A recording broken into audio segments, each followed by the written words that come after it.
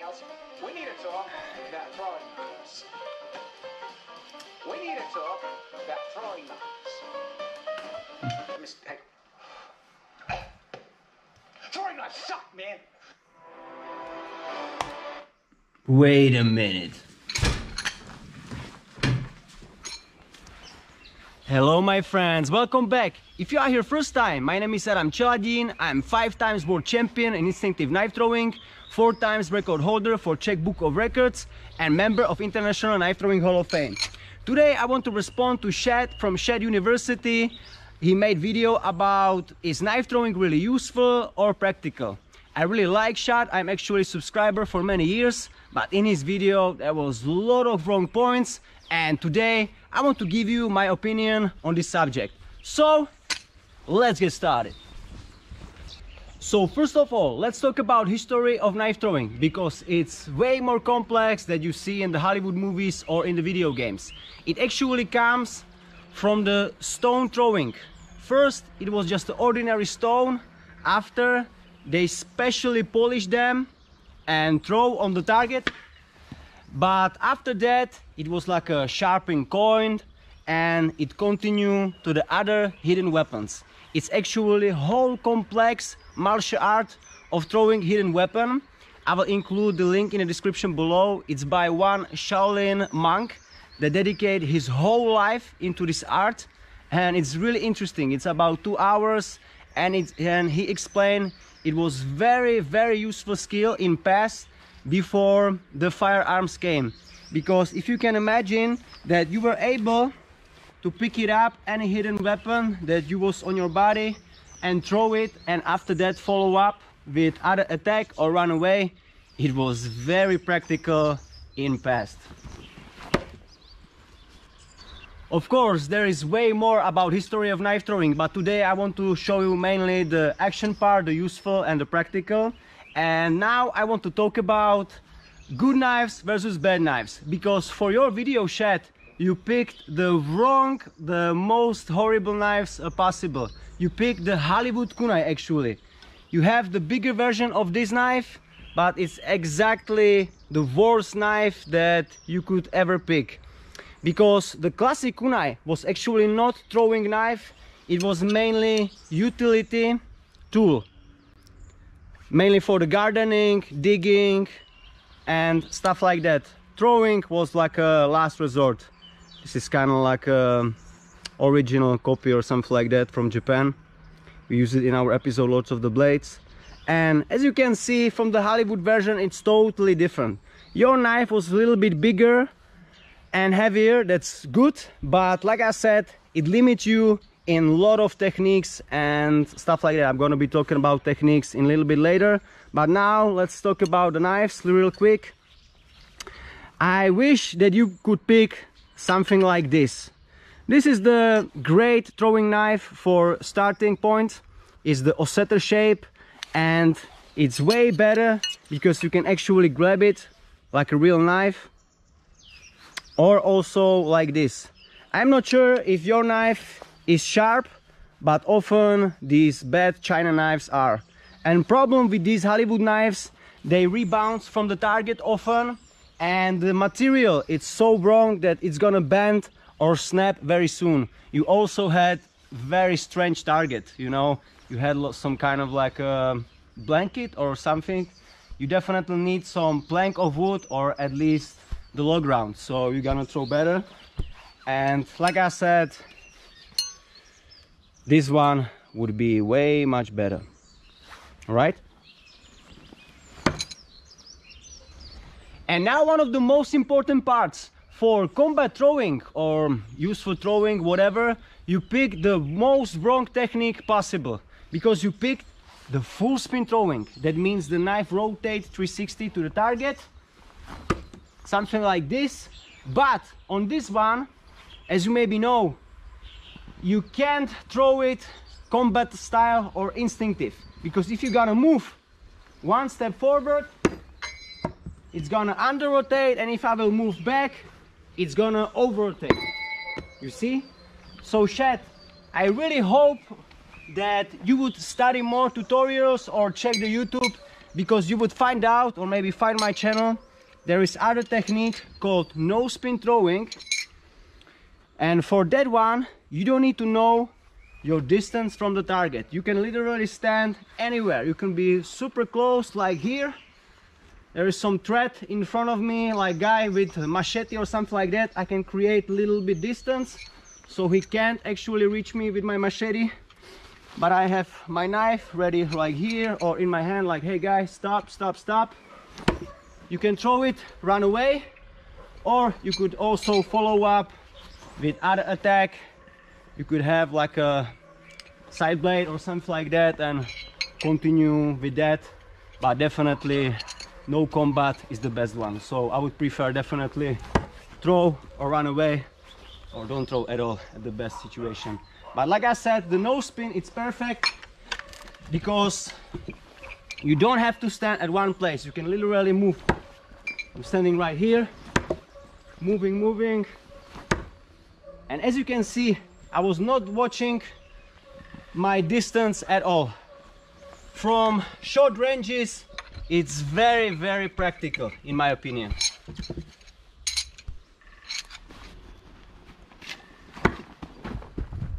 So maybe you already noticed knife throwing is getting way more practical now, right?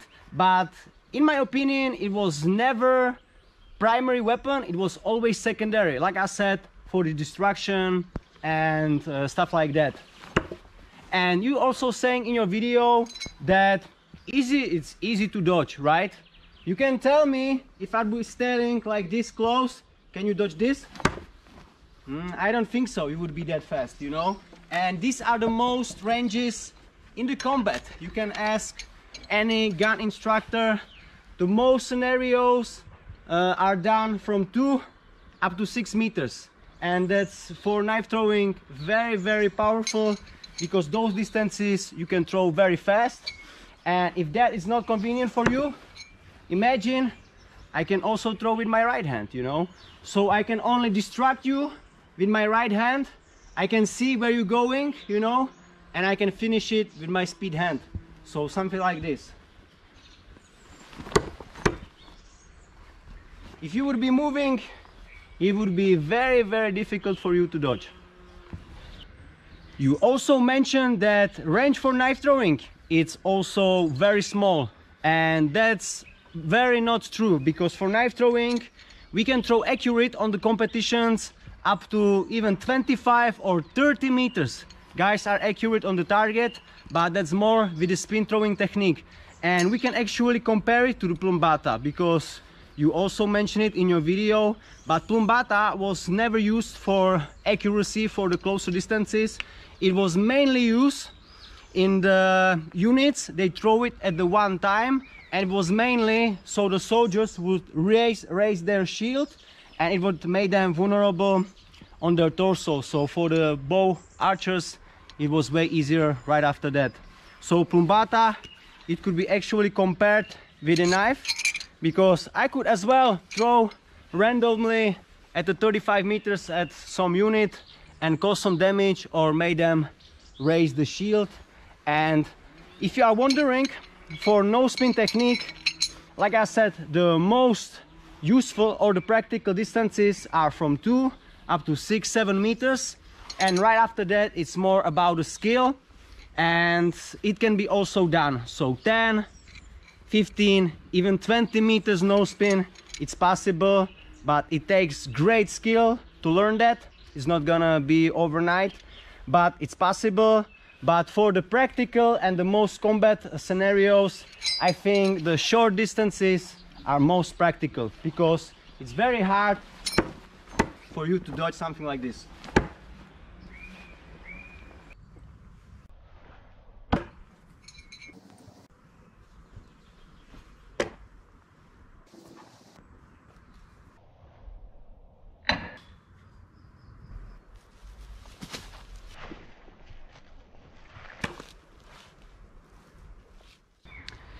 also said that uh, shurikens maybe couldn't hurt you, right? That the piercing point is very small. You again comparing it with the Hollywood shuriken, you know, those are super small, even smaller than this one. And uh, power it's very very low after that it's going bigger and bigger so you can imagine that this actually can cause serious damage you can see this one would penetrate a few inches. And after that you can have even something like this. So I would not say that shuriken can cause some damage you know? It's about the right size and the weight and proper technique and also where you're gonna hit all right? But even the classic shuriken hira shuriken was used again mainly for destruction but in some cases they put poison on them. So after that it was uh, i guess very deadly.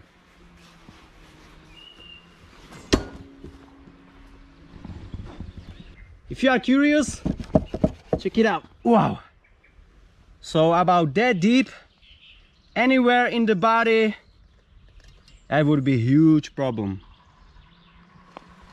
you also mentioned Shad in your video that knife throwing can be too much powerful like you can't uh, cause some serious uh, penetration.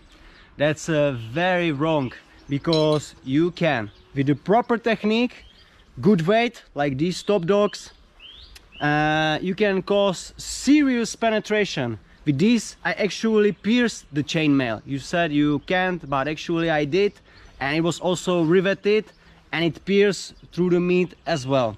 Today I don't have um, here some riveted chainmail but at least for a little demonstration we put this uh, coconut.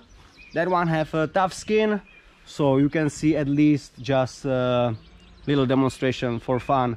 But I can assure you knife throwing it's very very uh, dangerous as well because even dump ricochet can cause serious damage. A lot of people that are practicing know that I got hit on the finger a few few weeks as well blood everywhere. So it could be very dangerous. So you can only imagine if you would be hit with the full force and you would have only normal clothing.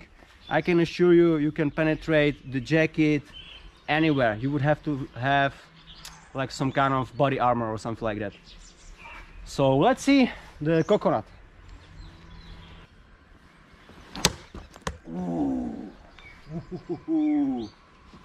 so check it out. The knife actually sliced through it. Here we have the entry point I guess. It's sliced over here through the skin and out to the target. It could be very very powerful my friend. And it's stacked. Still about this deep. Wow